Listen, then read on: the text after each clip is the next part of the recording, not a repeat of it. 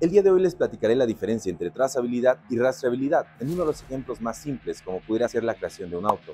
A lo largo de la cadena de suministro se van creando identificaciones específicas para cada una de estas partes. Imaginemos cuando vamos incorporando las llantas, amortiguadores, incluso asientos o podrían ser partes más sofisticadas como pudiera ser el motor o algunas partes específicas o críticas para cada uno de estos autos. Ahora bien, en cada uno de estos puntos si los unimos se crea un trazo. A este concepto lo vamos a empezar a llamar como trazabilidad. Aquí nos enfocaremos más a temas de calidad, en donde en el momento que detectamos que un componente tiene algún daño o necesita hacer algún reemplazo, buscaremos cuáles son los carros que contienen esta parte para así hacer un tema de garantía. En ese momento en el que estamos buscando cuáles son estos carros o simplemente cuál es ese punto específico que está dañado, se le denomina rastreabilidad.